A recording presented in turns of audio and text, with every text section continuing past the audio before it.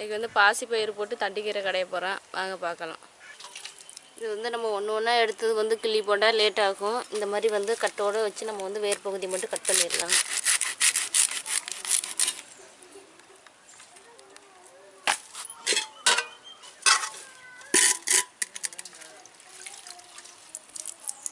மாதிரி வந்து சமமாக எடுத்துக்கிட்டு அதோட வேர் பகுதி மட்டும் கட் பண்ணிவிட்டு தண்டோடைய போட்டு நம்ம வந்து கீரை கடையை இப்போ வந்து கட் பண்ணியாச்சு. இப்போ வந்து நல்லா அலசிடலாம்.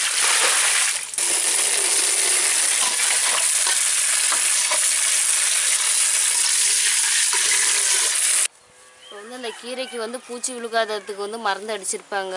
அதுக்கு வந்து நம்ம வந்து உப்பு போட்டு அலசினோம்னா அதோட பவர் எல்லாம் போயிடும். அதுக்காக நான் இப்போ உப்பு போட்டு அலசுறேன்.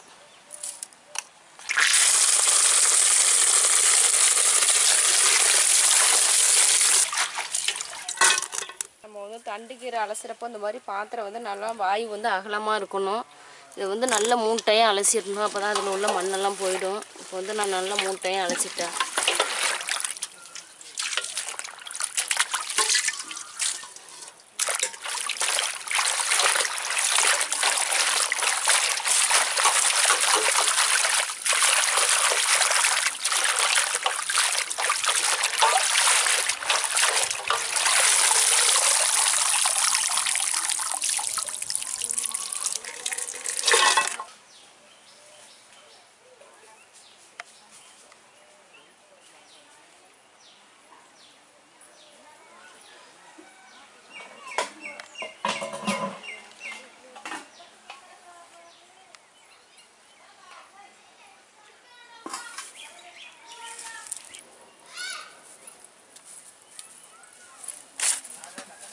பருப்பு கீரையை வந்து நம்ம வந்து பாசி பயிர் போட்டு கடைஞ்சிடலாம்.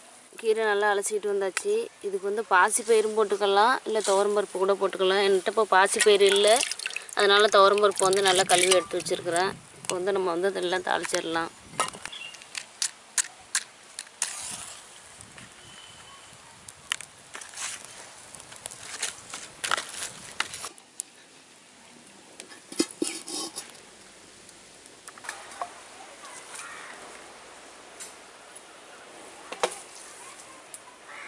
இன்றைக்கி வந்து நான் வந்து தேங்காய் எடுத்துருக்குறேன். தேங்காய் ஊற்றி நம்ம வந்து பருப்பு கடைச்சோம்னா நல்ல டேஸ்ட்டாக இருக்கும். அதனால் இப்போ நான் வந்து தேங்காய் ஊற்றுறேன்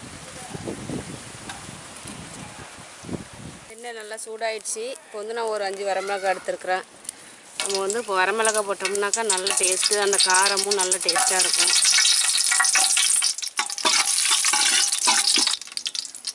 வரமிளகாய் நல்லா சவுண்டு வந்துருச்சு. இப்போ வந்து ஜீரகம் போடணும்.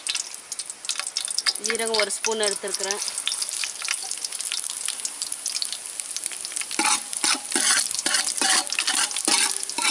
வேறு ஜீரகம் நல்லா பொரிஞ்சு வந்துருச்சு. சின்ன வெங்காயம். சின்ன வெங்காயம் வந்து கொஞ்சம் நல்லா சின்ன வெங்காயம் வந்து நல்லா வதங்கி வந்துருச்சு. இப்போ வந்து பூண்டு அந்த மாதிரி வந்து நம்ம சிறுசாக கட் பண்ணிக்கணும். இப்போ வந்து பூண்டும் வந்து வெங்காயமும் நல்லா வதங்கி வரணும். இப்போ வந்து பூண்டு வெங்காயமெல்லாம் நல்லா வதங்கி வந்துருச்சு. இப்போ வந்து நான் ஒரு தக்காளி தான் எடுத்துருக்குறேன். அதை வந்து நல்லா அந்த மாதிரி புதுசாக கட் பண்ணிக்கிட்டோம்னா பருப்பு கூட வேகிறதுக்கு நல்லா வெந்து வரும் பேஸ்ட் மாதிரி ஆகும். உப்பு ஒரு ஸ்பூனு நம்ம வந்து இந்த மாதிரி வெங்காயத்துக்கு கூட உப்பு போடுறப்போ வந்து அதுக்கப்புறம் வந்து நம்ம உப்பு போடக்கூடாது. மறந்துட்டு கூட உப்பு போட்டுட்டோம்னாக்கா உப்பு ரொம்ப கறிச்சு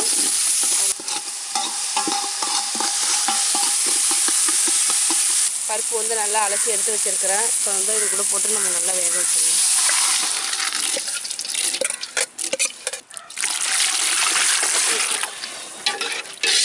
நல்லா பருப்பு வெந்து வரட்டும். நம்ம அதுக்கப்புறம் வந்து கீரையை போட்டுக்கலாம். நல்லா கொதி வர வரைக்கும் நம்ம மூடி வச்சுக்கலாம்.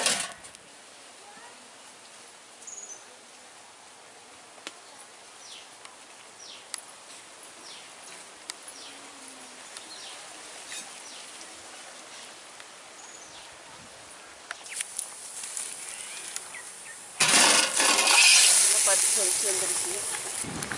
நம்ம வந்து பருப்பு போட்டு கீரை கடைஞ்சோம்னா பருப்பு வந்து ரொம்ப வேகக்கூடாது. இந்த மாதிரி பருப்பு தெரியல அளவுக்கு இருந்தால் தான் நல்லாயிருக்கும். இப்போ நம்ம இதில் வந்து கீரையை போட்டுடலாம். இதில் வந்து ஒரு ரெண்டு ஸ்பூன் வந்து சாம்பார் தூள் சேர்த்துருக்குறேன். ஒரு கால் ஸ்பூன் வந்து மஞ்சத்தூள். இதில் வந்து ஏற்கனவே உப்பு போட்டாச்சு. வந்து நம்ம கீரையை போட்டுடலாம் இதில். இதில் வந்து ரொம்ப பேர் பாருங்கள் அந்த தண்டை வந்து கட் பண்ணி எடுத்துடுவாங்க. அந்த தண்டில் தான் சத்து அதிகமாக இருக்குது நம்ம அப்படியே போட்டு வேக வச்சோம்னா நல்லா வெந்துடும் வந்து கீரை வெந்து வந்துச்சுன்னா நல்லா அமுங்கிடும். நம்ம வந்து அப்படியே வச்சு மூடி வச்சிடலாம். சார்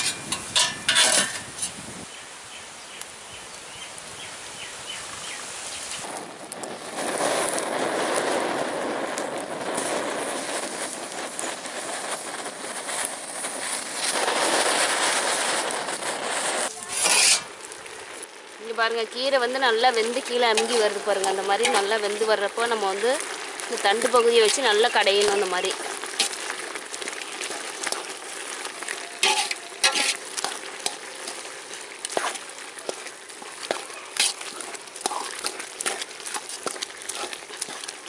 இந்த மாதிரி வந்து கரண்டியை வந்து நம்ம வந்து இந்த மாதிரி கடைஞ்சி நல்லா அந்த தண்டு பகுதியெல்லாம் நல்லா கடைஞ்சி எடுத்துடணும். அப்போ தான் வந்து நார் மாதிரி உங்களுக்கு தெரியாது. வேகிறப்பே வந்து நம்ம நல்லா கடைஞ்சிடணும். நம்ம எடுத்து வச்சு கடைஞ்சோம்னா ஆறி போயிடும். அது வந்து கடைய முடியாது. இந்த மாதிரி அடுப்பில் வந்துக்கிட்டு இருக்கிறப்பே கரண்டியால் போட்டு நல்லா கடைஞ்சிடணும். வந்து நம்ம உப்பு இருக்கான்னு பார்த்துக்கலாம்.